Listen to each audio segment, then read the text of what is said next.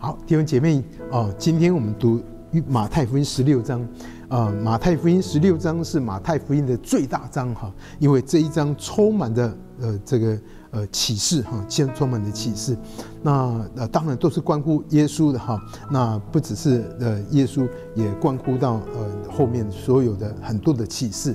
我们今天从十五节哈，十五节我们读到二十节，好吗？十五节我们一起来读哈。耶稣说：“你们说我是谁？”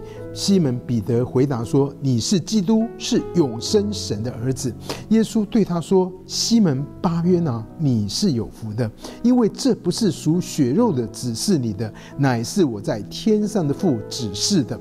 我还告诉你，你是彼得，我要把我的教会建造在这磐石上，阴间的权柄不能胜过他。嗯，我要把天国的钥匙给你，凡你在地上所捆绑的，在天上也要捆绑；凡你在地上所释放的，在天上也要释放。当下啊，嗯，耶稣耶稣嘱咐门徒，不可对人他说。因为时间还没到啊，就是还不要自己这样。那弟兄姐妹，我们所信的是谁呢？耶稣。那他是怎样的一位呢？耶稣在在这个该沙利亚菲利比的的这个这个境内，耶稣先问他们说：“人说我是是谁？”那有哇，那很多人说啊，他是先知，或者是呃他是呃是甚至以利亚啊最伟大的先知了啊之类的。但弟兄姐妹，其实耶稣并不在乎别人怎么看他，可是耶稣会非常在意他的门徒已经跟随他了一段时间了，那他们对耶稣的认识是什么呢？所以耶稣问他说：“你们说我是谁？”那弟兄姐妹，感谢主，西门彼得回答说：“你是基督，是永生神的儿子。”哈，那弟兄姐妹，感谢神啊！今天主也一样问我，你说我是谁呢？那也许你会说哦，主啊，你就是一个医治的，因为我得到医治啊，主啊，你是解决我困境的神哦，你是怎样一位？但弟兄姐妹，耶稣到底是怎样的一位？他说你是基督，是永生神的儿子。你知道基督这个字呢？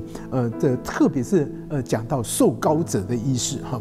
那这里这里讲到耶稣是基督，是受高者，那意思就是是说他是就是呃旧约先知里面所说的那一位。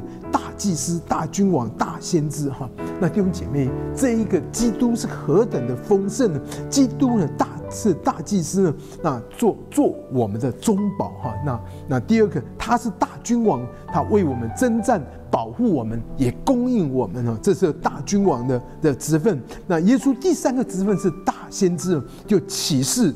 启示，那让上帝有永恒的计划能够建立，能够能够显明在我们这些人的身上，好叫我们能够知道，知道是上帝要做的事情是什么哈。所以，亲爱的弟兄姐妹，感谢神哈，认识神。认识耶稣呢是有两个，一个是从用耶稣的的外表来认识他，那一个是在启示的里面。所以弟兄姐妹非常的重要。那你对耶稣外面哦，耶稣会行神迹哦，所以人家说他是先知啊。那弟兄姐妹够不够呢？也是很好，但是不够的，不够的。你还需要有一个，就是启示中来认识我们的主耶稣基督，他是基督，他是弥赛亚，他是神的儿子哈。那弟兄姐妹，这这边告诉我们说，这个启示呢，是从从天上的父来的哈，所以彼得的认识跟很跟其他的。呃的门徒一定是不一样的。